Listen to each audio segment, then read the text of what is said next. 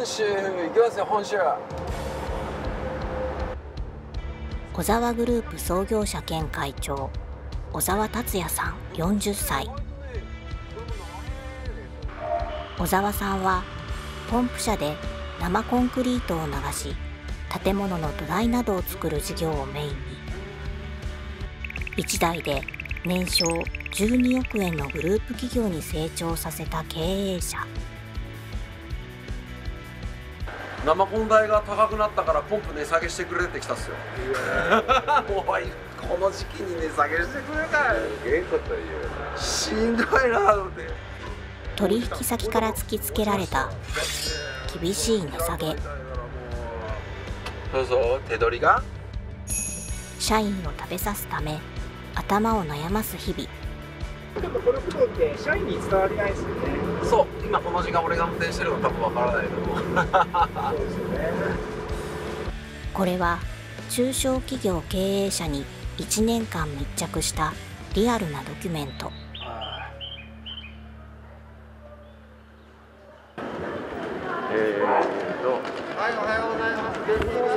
あ、小沢です。あ、どうも、はじめまして。どうも、ありがとうございます。すいません、わざわざ。どうぞ寒いんでどうあぞ、どうも、すいません。この日朝一番の飛行機で小沢さんがやってきたのは四国徳島県。今は会社にあの中古車っていうのは20台ぐらいあるんですか、中古車は今10台ぐらいはあったんですけど、ここでも5台ぐらい出ちゃったんで、またちょっと仕入れて、もすごいですね。う新車が高すぎるじゃないですそうか。ですね。だからもう中古車でいいのをね、なんとか整備して。小沢さん中古ポンプ車の仕入れに来たのです、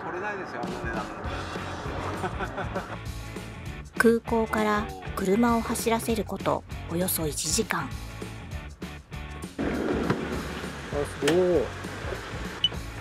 着いたのは徳島県阿南市にあるポンプ会社来ましたね、これだ。いや、楽しみだな。購入を検討しているのはすでに製造をやめてしまったメーカーの希少なポンプ車だそうで。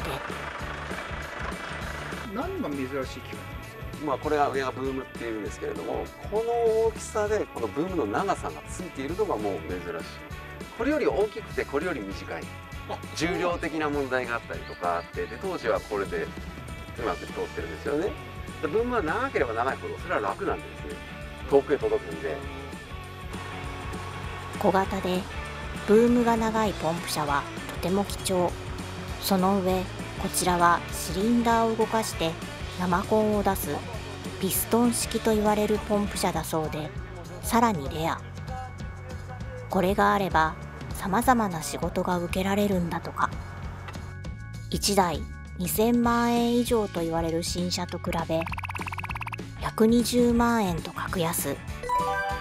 偶然オークションサイトで見つけたまさに掘り出し物です。しかし売り主の佐川さんによると何やら訳ありのようで。なんか普通にブームは動いてたし、いくらボムが動いても生コンが出ない。今じゃ生コンが出ないよ。出ないです。はい。ただの、あのー走るトラックです。あ手動でならなんとか動くもののピストンのセンサーが壊れているのか自動では動かない状態。壊れた原因もはっきりわからない上メーカーや代理店に問い合わせても部品がなくお手上げだというのです。このメーカーが部品を在庫で抱えてたらうちもセンサー変えてみて基板見てもらってで電池面見てもらってっていうけどもピストンセンサーがない時点で結局それを探さないとダメなんですよね、ーとかだからこの IHI がもう製造をやめちゃったから。そうです。これにもう時間割くのがちょっと私にはちょっと辛いものあります。使い道がなくただ鎮座していたというポンプ車。これはさすがに買わないと思いきやえじゃあこれえ買わさせてもらってもいいですかこれ？本当ですか？ええええ。直してみます。小沢さん治らないリスクを承知で購入することに。治れば機能的には素晴らしい機械だから。でこれが治せるかというところでね。直す当てたの？当ては全国の皆さんも頼ればなんとかなるかなと。はい。でこれをうん。今日乗って帰るわけですね。そうですこれから。10時間ぐらい？東京まで。東京まで。それがで。やりますロードドライブですね、はい。よくやります。東京まで行きましょう行きましょうか一緒に、東京の小沢グループ本社までおよそ660キロ。お昼に出発してほぼノンストップで走っても夜10時着という長旅です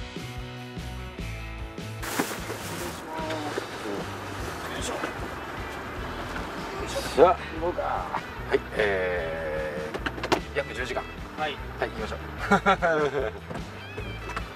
なんとか復活してください。はいありがとうございました。すいませんどうもありがとうございます。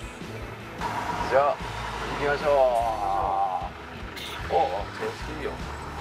本当に調子いいやこれ。うん調子いいエンジンは。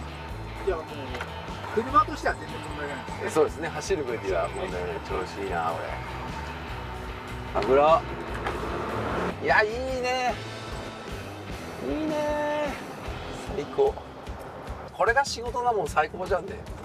いやマジで最高だよこれ地方出張でこれも。う知らないとこ行って。これ仕事だからね、僕もいろんな仕事しましたけど徳島日帰りって結構初めてかもしれないですね。えーこの間あれ？この間俺どこ？山形日帰りか。うんいや今日は多分力尽きますよ多分。宣言通り力尽きると思いますわかんない意外といけちゃうかもしれない。ちょっと寝た方がいいですこれ事故ったらもうちょっとねそれ眠かったら出るけど眠くなかったら走るんですよ。うんうん。お前夜2時間半しか寝ていないという小沢さん。とりあえず体力の続く限り行けるところまで行くことに。ポンプ車は鳴門大橋を渡り淡路島へ鳴門海峡。鳴門の大渦はどこだ？だ真下なんだよね。ドラゴンクエストのふるさとなんですよ。知ってました？そうなんです。俺の大好きなドラゴンクエストの。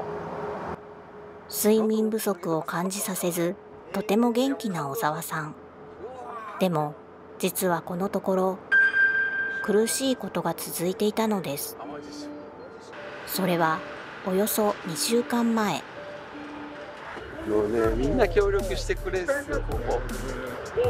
俺が一番好きな場所ですよ。静岡県東部伊豆長岡にある生コン会社に小沢さんが信頼するコンクリート関係者が集まった時のこと仲間に囲まれほっとしたのか珍しく弱音を吐いたのです。聞いてくださいよ生コン屋さん。俺のお客さんがいるんですけど生コン代が高くなったからポンプ値下げしてくれってきたっすよ。おいこの時期に値下げしてくれかいええこと言うしんどいなと思って報じたんです俺だから落ちましたよ。だってそれ切られたら痛いからもう。こういう値上げブームの中だから値下げしてくれよっていう話はもう絶対にないだろうなと思ったんですよ。ね。もうリアルに3日4日前に。嘘でしょと思って生コンの主要な原材料であるセメントが高騰し価格が上昇。それを理由に取引先から値下げを要求され今後も続く可能性があるというのです。2000万円するんですよ。今機械が。2000今200万とか。で従業員さん1人雇って1ヶ月回していくら残るって言ったら10万20万ですよ。かなりその厳しい商売だけど社員だって好きでやってるからで辞めるわけにはいかないし従業員だってもっと給料払ってあげたいけどポンプじゃもう無理です。コンクリート圧送の仕事は安ければ数万円程度ライバル会社も多く単価を上げれば仕事を奪われ下げれば社員の給料を上げることはできません。この先どうやって社員を食べさせていけばいいのか。小沢さん悩んでいたのです。ポンプ車は淡路島を抜けて本州へ。お本州行きますよ本州。ここから先がつまんない道になるもう慣れた道だから。ああそうか。何回も。何回も通るとつまんない、まあ、発見もあるけどね。この業界言った通り本当にね業者もものすごい増えちゃって個人事業主なんかも増えちゃってね、まあ、単価の下げ合いがもうずっと止まらない状況なんだけど本当にでも仕事増やすってなったらね付き合いのある人からはもちろん取らないけどね関係ない人から取っちゃうよもちろんそこを心を鬼にしてじゃねえけどなんだろうね。でもまあそれじゃつまんないじゃんね。結局それ出したいんですそれは。値下げ合戦となれば体力のない小さな会社から潰れていきます。たとえ生き残っても社員の給料も上がらず業界の未来もありません。何か別の方法はないのか小沢さん模索を続けていたのです。ポンプ車は関西中部を抜けて小沢さんの生まれ故郷静岡県へ。あ来た。静岡の看板ほら。静岡来ました。いやー長い道のりでしたね。まだゴールじゃないですけど。はい地元なんで大丈夫です。目つぶって飲んでください静岡いや目つぶんないでください。まあまた同じ話を聞くかもしれないですけど。値下げに屈せず生き残る方法はないのか。小沢さんにはある考えがありました。みんなの給料上げたいけどじゃああの単価を上げるっていう。で作業すればまあそれはできるかもしれないけれども上げるとやっぱ仕事がよそに流れてっちゃうね。やっぱ上げないところもあるから。でもやっぱ物価も上がってるしで給料も、まあ、大企業はどんどん上げてってる。中中小企業はなかなか上げづらい。じゃあどうしようっつったら付加価値をつけて発送単価は同じにしても工事単価同じにしてもそれプラスお金がもらえる仕掛けを今度やっていく。これまでのコンクリート圧送に何かを加えることで単価を上げたいという小沢さん。実は今回徳島で仕入れたポンプ車は売り物ではありません。単価を上げるための仕掛けの一つ。どこで使いたいかというと。この給料は広島ではもう考えられない。言ったじゃん最初にみんな。に、うん、言ったじゃんみんなに。だからそうすると人に苦苦労することがなくなるから僕の先。2022年末に買収し新たに小沢グループに加わった広島のポンプ会社理上開発。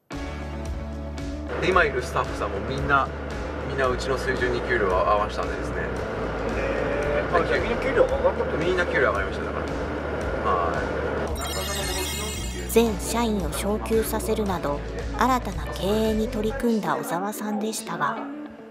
売上的にはどうなんですか11月12月は下がってで1月は1月も下がった。ずっと下がりっぱなしだから。ね 普通に笑えない笑ってるけど。売り上げは伸び悩み昇給した分会社は赤字を出していたのです。その解決策の一つとなるのが今回購入したポンプ車だといいます。仕事の幅が広がるって言ってましたね。そうだからギャンブルだけど、ね、治らなかったらもうしょうがないんだけど治った時の期待値の方がでかい。何が期待値が高いんですか？そう広島には広島のポンプにはない、械の種類になるからこの手のサイズのこのピストン式のねこのポンプ車っていうのはものすごい市場に少なくて大きいのはあるんだけどちっちゃいのがなくてしかもあってもものすごい高い。もう今まで広島じゃ断ってた仕事。もうち広島で受けられるようになる。変わります。広島の売り上げは間違いなく間違いなく変わる。さあだからまあよそと同じじゃダメってこと同じサービスじゃね。値段だけの勝負になっちゃうみたいな小沢さん値段勝負ではなく他社と差別化を図り成長しようとしていたのです。もうみんな仲良しここの会社。最高なんですよ。はおよそ2週間前小沢さんが静岡県伊豆長岡の生コン会社にいたのもそのためでした。ケンちゃん今日主役だから小沢さんが連れてきたのはグループの社員たち。間もなく始める新サービスの協力をこちらでお願いしていたのです画期的なここら辺ちょっとモザイクをかけてもらってポンプでやる画期的なサービス。日本初のまだ詳しくはお見せできませんが現在外注しているとある作業をポンプ会社が代わりにやることでその分単価を上げることができるというのです。ポンプ会社がやることはまずないためおそらく日本初の試みだといいますポンプ代なんか絶対値段なんか上げられないからだから違うサービス作って上げていくしかない。ですよね。まあ高い策ができてよかったでも。ね。しゃあな希望がねみんなの給料上げられんじゃん。みんな上げみんな上げ徳島ナンバーが御殿場走って。るくらいになりますよねでも車が少なくなってきたの4月ですからポンプ車はいよいよ神奈川県へ。ゴールの東京まで残りわずかです。もう厚木だからね。厚木じゃね今中井パーキングだからね。今日パーキングエリアで休憩中。元社員から電話がかかってきました。まあさんがいたら何年前よだってもう相当前俺らがポンプ車6台ぐらいの時？俺が毎日切れてた時だね。一生懸命とか言ってくれてるし。うんうんまあ遊びおいでよそしたら。またね。はいはいはいはいはい。何年前？何年前？10, 10年前。12年ぐらい前の社員。なんで連絡来たんですか？えー、もう山の会社辞めたいんだって。えまあ、この人がうちの会社で初めてだね。年は上なんだけど LINE で辞めますって言った人。いやバックれた人だから。うん。社員の給料を上げるため日々奮闘している小沢さん。でも経営者と社員。立場が違えばどうしてもすれ違いがあるようでちょっとこのことって社員に伝わりないですよね。そう。今この時間俺が運転してるの多分わからない。と思うそうですよねまあ、結構運転して帰ってるからまあ中には知ってる人もいるんで。ね辛くないですよギブアンドテイクですか？いやそう。ギブばっかじゃないですか。そうそう。ギブアンドってそのテイクを求めることがもうその時点でダメだろう本当にもう自由に働いてもらえりゃまあでもその中でもやっぱやる気出してやってくれるっていう人もまあ何人かいるからまあそれはそれで、うん、まあ別にそういい。これでいい。別に苦じゃないからね働くって。別に。いやもうカウントダウンがもう飽きるのがもうもう本当すぐまだ500メーターみたいな感じです飽きるの日の出感が近いからもうすぐ。よしはい降りるよ日の出行ったいや長かったな本当にいやでもまあ何回目かわかんないけど。慣れてますからね本当にえーと1万5250円。別の区間で支払った高速代を合わせるとおよそ2万2000円。偶然にも行きの飛行機代とほぼ同じ料金です。ちょうど交通代が行きのあの僕の飛行機の料金どれぐらいですかこれ労力が全然違いますよね安いいやだってこれ陸送頼んじゃったらだって十何万か。かるあーそっか。ね。十何十何万分をねあの経費削減しましたね。稼いだ。稼ぎました。すげえったって相場より高い給料を払えたり投資ができるのもこうして普段から経費削減に努めているからなんだとか。午後10時24分660キロの長旅がようやく終了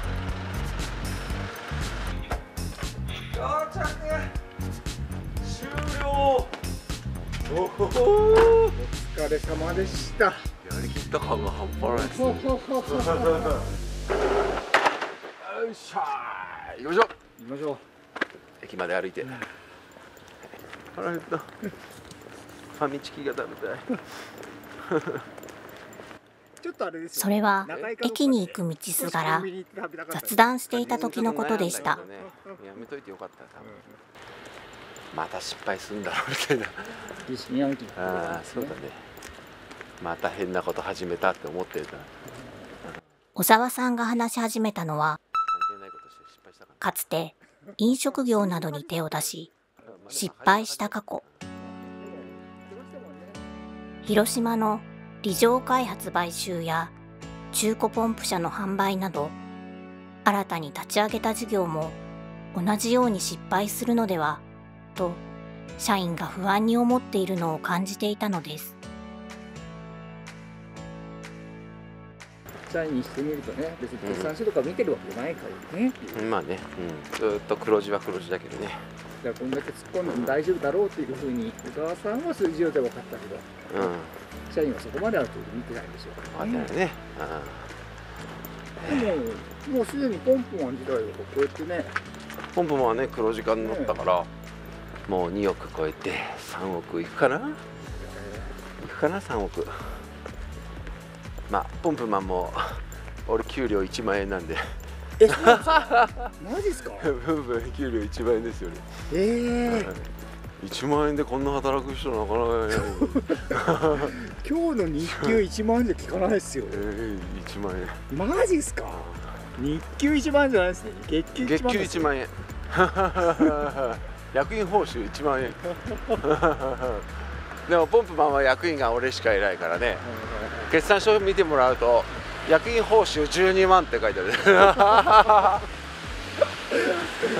まあ始まったばかりの会社だからやっぱ会社をね大きくしないと。社長が取っちゃうと会社大きくならないからね。理場開発はもうもらえるようになったんですか？理事開発ねえっ、とね月10万円。あでも10万なんだ。うんでも振り込まないで取ってもらって。有事の時に必要かもしれない。会社をやるって大変ですね本ねえ。当に